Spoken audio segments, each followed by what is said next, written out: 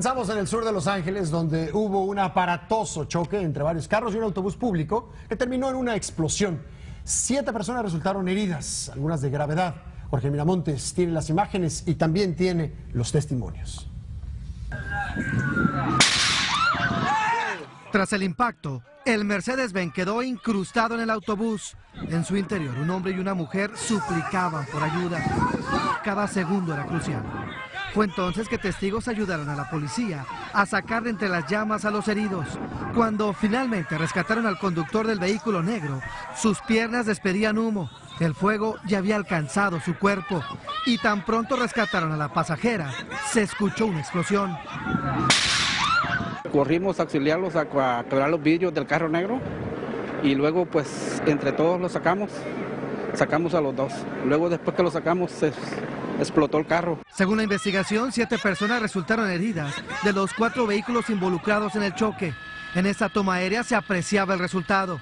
El segundo carro se desvió tras el impacto, chocando contra otros dos vehículos que transitaban por ese mismo bulevar.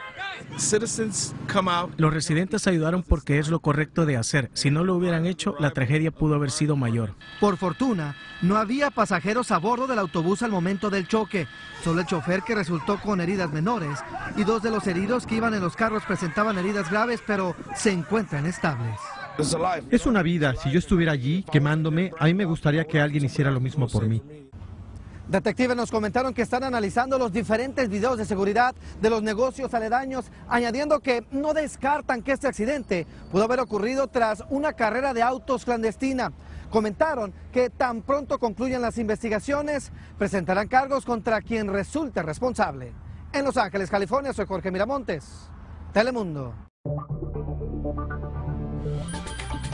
Cada vez que la vida nos estremece inesperadamente, nos damos cita e investigamos para que tú estés bien informado. En el Rojo Vivo estamos conectados con nuestra comunidad, con sus necesidades y sus urgencias. A las 4, 3 Centro. Somos tu primer frente de información.